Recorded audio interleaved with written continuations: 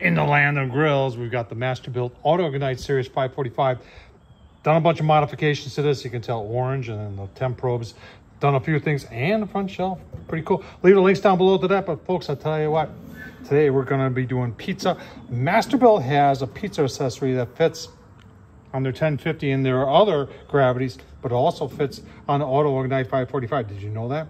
And uh, it works very, very well. So that's what we're going to do today. We're going to do some homemade pizza on the Masterbuilt Auto Ignite Series 545. Got the shelf up.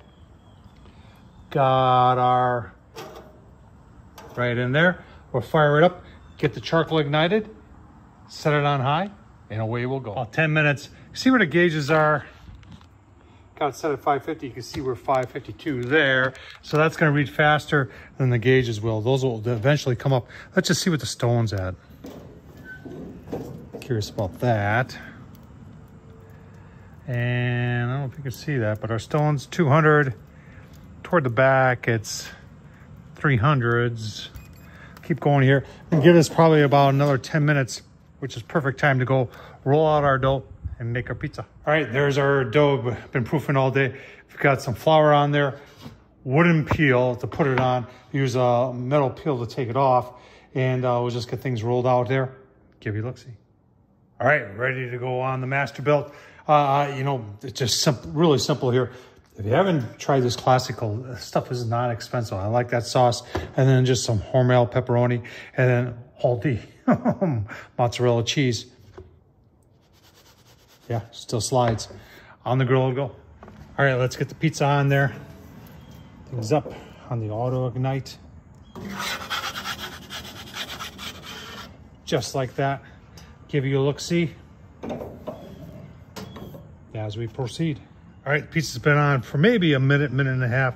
I did turn things up to 600 and uh, just I want to keep that fan running. And we just, we know we got to turn things here.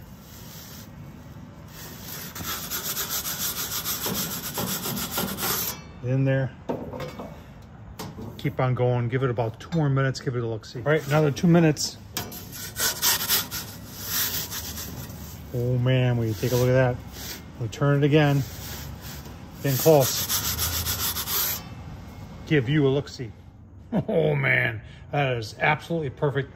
Let's go have some pizza. That nice looking pizza standing up all by itself. Not very brown on the backside, but oh man. That's good stuff right there. You don't think you can make pizza on the Masterbuilt Auto Ignite 545? Yes, you can.